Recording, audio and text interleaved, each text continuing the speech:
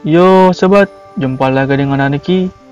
Kali ini Aniki akan membahas Nero Claudius dengan class Saber dan Caster di dalam gamenya. Yuklah, tanpa basi-basi lagi, mari kita mulai.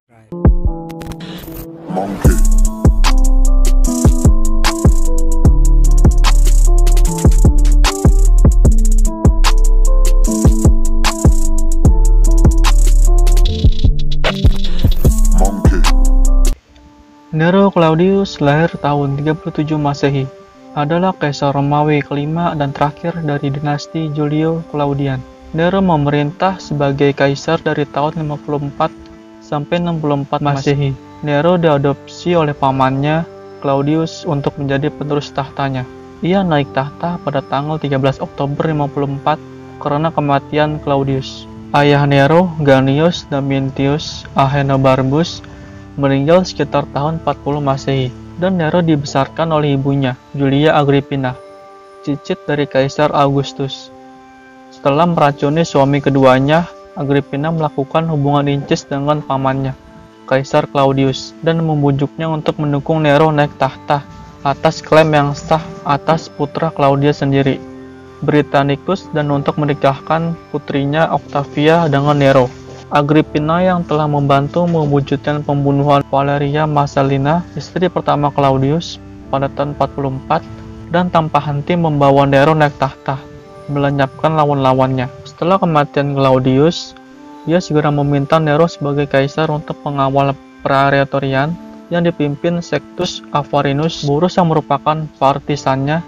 Oleh karena itu, Senat harus menerima fight complete untuk pertama kalinya kekuasaan absolut di kekaisaran Romawi diberikan kepada seorang anak laki-laki yang belum berusia 17 tahun. Agrippina segera melenyapkan Narcissus, orang yang selalu menentang tujuannya. Dia berharap untuk mengontrol pemerintah. Tetapi Burus dan guru lama Nero, filsuf Stona Lucius, meskipun mereka berhutang kepada Agrippina, mereka tidak puas untuk tetap menjadi alatnya. Lalu mereka mendorong Nero untuk bertindak sendiri, dan itu mengakibatkan hubungan Nero dengan ibunya berubah.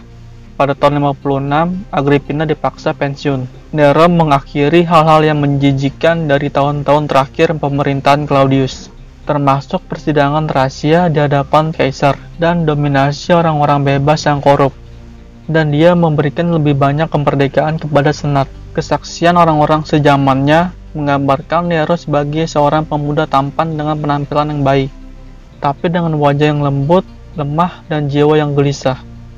Hingga tahun 59, penulis biografi Nero hanya mengutip tindakan kemurahan hati dan gerasi di catatannya. Pemerintah melarang kontes di sirkus yang melibatkan pertumpahan darah, melarang hukuman mati, mengurangi pajak, dan memberikan izin kepada budak untuk mengajukan tuntutan sipil terhadap majikan yang tidak adil. Nero sendiri memaafkan penulis epigram terhadapnya, dan bahkan mereka berkomplot melawannya, dan pengadilan rahasia hanya sedikit. Hukum pengkhianatan tidak berlaku. Pada zaman Claudius, Claudius telah membunuh 40 senator, tapi di antara pembunuhan yang dipicu oleh Agrippina pada tahun 54 sampai 62 tidak ada insiden serupa pada pemerintahan Nero. Nero juga meresmikan perlombaan puisi, teater, dan atletik sebagai daya tarik yang menyaingi pertarungan gladiator. Dia memastikan bahwa bantuan diberikan ke kota-kota yang mengalami bencana, dan atas permintaan sejarawan Yahudi Flavius Josephus memberikan bantuan kepada orang-orang Yahudi. Saat memerintah, Burus dan Seneca sering membiarkan Nero tidak terkendali untuk mengejar kesenangannya sendiri. Seneca mendesak Nero untuk menggunakan kekuatan otokratisnya dengan hati-hati, tapi dia jelas gagal. Pada awalnya, Nero tidak suka menandatangani hukuman mati dan pemerasan pemungut pajak terhadap masyarakat. Pada tahun 58, untuk secara tidak realistis, menyarankan penghapusan bea cukai. Bahkan kemudian Nero menyusun rencana besar untuk penaklukan atau penciptaan pekerjaan umum. Tapi sebagian besar dia menggunakan posisinya hanya untuk memuaskan kesenangan sendiri. Tapi kebrutalan Nero berada pada puncaknya dalam periode 35 bulan mulai dari hukuman mati Agrippina pada tahun 59 dan perlakuan serupa terhadap Octavia pada bulan Juni 62. Nero membunuh Agrippina yang marah melihat putranya yang mulai membangkang rencananya. Sementara pembunuhan Octavia terjadi karena Nero jatuh cinta dengan Poppaea Sabina, istri muda senator Otto. Nero menikahi Poppaea pada tahun 62, tapi dia meninggal pada 65 Masehi. Dan Nero kemudian menikah dengan wanita bangsawan Statilia Messalina. Menurut catatan sejarawan Roma Tacitus 56 sampai 150 Masehi, Agar dapat mendirikan sebuah kota Roma yang baru, maka Nero dengan sengaja membakar kota Roma. Setelah kebakaran bisa terjadi, penduduk Roma umumnya percaya bahwa biang keladi kebakaran itu adalah Nero. Namun, Nero mengkambing hitamkan umat Kristen sebagai penyebab kebakaran dan menggunakan cara yang sangat jahat untuk menghukum mereka. Dalam sebuah arena perlombaan, sebagian umat Kristen ditutupi dengan kulit hewan, lalu melepas segerombongan anjing pemburu untuk menggigit dan mencabik-cabik mereka hingga mati. Bagi umat Kristen yang masih tersisa, Nero memerintahkan anak buahnya supaya mengikat mereka bersama jerami kering untuk dijadikan obor dan disusun di dalam sebuah taman dan dibakar pada tengah malam, menjadi hiburan bagi Nero.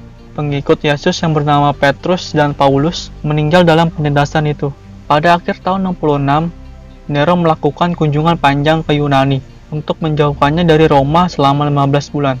Dan selama ketidakhadirannya, dia mempercayakan konsulat kepada salah satu mantan budaknya. Dalam perjalanan ini, Nero memenuhi keinginan artistiknya dan dia berjalan berkeliling dengan pakaian bertapa, tanpa alas kaki, dan dengan rambut tergerai. Antusiasmenya terhadap budaya Yunani juga mendorong untuk membebaskan sejumlah kota Yunani untuk menghormati masa lalunya yang gemilang. Setelah kembali ke Roma pada bulan Februari 68 Masehi, tuntutannya sebagai seniman dan pemuja agama membangkitkan permusuhan, tidak hanya dari senat dan bangsawan yang telah dirampas olehnya, tapi juga dari kelas menengah Italia yang mana pandangan moralnya kuno dan berisi sebagian besar perwira prajurit. Saat berita tentang pemberontakan yang melanda seluruh kekaisaran menyebar, Nero hanya tertawa dan memuaskan diri secara megalomaniak daripada mengambil tindakan. Aku hanya perlu tampil dan bernyanyi untuk mendapatkan kedamaian sekali lagi di gaul. Pada saat ini, seorang kurir tiba dengan laporan bahwa Senat telah menyatakan Nero sebagai musuh publik. Mereka berniat untuk mengeksekusinya dengan memukulinya sampai mati, dan orang-orang bersenjata telah dikirim untuk menangkapnya agar tindakan tersebut terjadi. Senat sebenarnya masih enggan dan mempertimbangkan tindakan yang benar, karena Nero adalah anggota terakhir dari keluarga Julio Claudian. Memang, sebagian besar senator telah melayani keluarga kekaisaran sepanjang hidup mereka dan merasakan kesetiaan pada garis keturunan yang didewakan. Orang-orang itu sebenarnya memiliki tujuan mengembalikan Nero kembali ke Senat, di mana Senat berharap untuk menyelesaikan kompromi dengan gubernur pemberontak, sehingga setidaknya pewaris dinasti di masa depan dapat diproduksi. Nero tidak mengetahui hal ini, dan karena berita yang dibawa oleh kurir, dia mempersiapkan diri untuk bunuh diri. Karena kehilangan keberaniannya, Nero memohon pada salah satu temannya untuk memberi contoh dengan bunuh diri terlebih dahulu. Akhirnya, suara penunggang kuda yang mendekat membuat Nero bersiap namun dia masih tidak bisa memaksakan dirinya untuk bunuh diri, melainkan memaksa sekretaris pribadinya, Epaphroditos, untuk melakukan tugas tersebut. Ketika salah satu penunggang kuda sampai dan melihat bahwa Nero sedang sekarat, dia berusaha menghentikan pendarahan, tapi upaya untuk menyelamatkan nyawa Nero tidak berhasil. Nero meninggal pada tanggal 9 Juni 68 Masehi, dimakamkan di makam Domiti Ahenobarbi, di tempat yang sekarang disebut Villa Borges. Kematiannya mengakhiri dinasti Julio Claudian, memicu periode singkat perang saudara. Penduduk Roma dan pengawal praetorian menyesali bahwa mereka telah kehilangan pelindung liberal seperti itu. Tapi bagi rakyat pada umumnya, Nero adalah seorang tiran, dan pemberontakan yang diprovokasi oleh kesalahannya memicu serangkaian perang saudara yang untuk sementara waktu mengancam kelangsungan hidup kekaisaran Roma dan menyebabkan kesengsaraan yang meluas. Oke, itulah dia kisah singkat dari Nero Claudius. Cukup sampai sini dulu sobat. Sampai ketemu lagi. See you.